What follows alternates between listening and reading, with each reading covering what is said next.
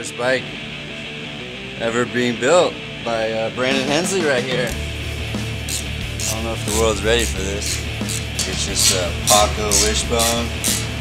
Nothing too exciting, nothing too gaudy.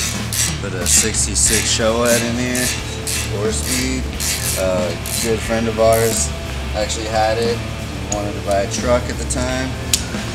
So I was actually started to build his motor for him. And I figured I'd take it. So here we are, two years later. Super stoked for him.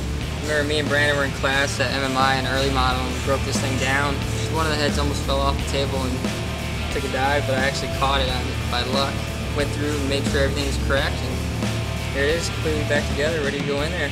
Yeah, he's, he's got a pretty nice four-speed he got with the deal too, and we went through that as well. Yeah, he's got a little cool rocker clutch set up for it. It's gonna be really bitchin', bitchin' scoop. More powder coat hardware. He's very meticulous. He's taking his time doing it right. Just tapping all the holes, getting it all cleaned up so my bolts thread in by hand. Keeps my stress level down. Brandon always has a design in his head, so we just got went off what he wanted and uh, did some cool little exhaust things going on and sissy bar, tank mount. He's been waiting a long time for it. I can't wait to ride it.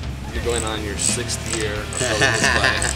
You were gonna have ready for the smoke out. We're Two probably looking- Sturgis. We're probably looking at more at Sturgis, right?